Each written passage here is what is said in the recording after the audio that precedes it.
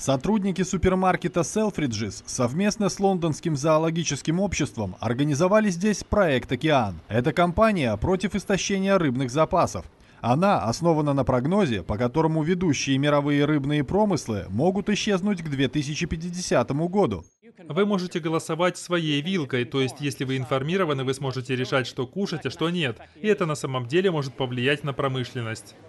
В рамках кампании в универмаге распространяются бесплатные буклеты. В них говорится о том, какую рыбу можно есть, а какое следует избегать. Информация также доступна как приложение для мобильного телефона. Selfridges также перестал продавать в своих ресторанах рыбу, которая находится под угрозой исчезновения. Кампания по спасению рыбы здесь отражена повсюду, начиная с выставки, посвященной океану, до специальных футболок. Творческий директор Selfridges Алана Вестон говорит, что это самый большой проект, над которым когда-либо работали в универмаге.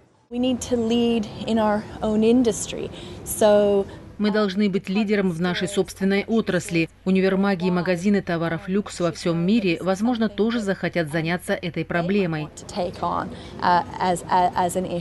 В каждой из главных витрин магазина своя особая композиция. Она включает информацию о том, как пожертвовать деньги проекту. Прохожие говорят, что такие витрины привлекают внимание. Я думаю, что это очень творческий подход. Думаю, весьма забавно, что на них седла.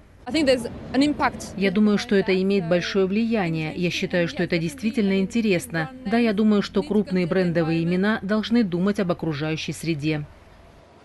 Селфриджес и зоологическое общество Лондона считают, что их усилия по спасению океана не ограничатся этой кампанией на один месяц. Они уже выступили спонсорами создания морского заповедника на Филиппинах, который послужит домом для рыб, находящихся под угрозой исчезновения.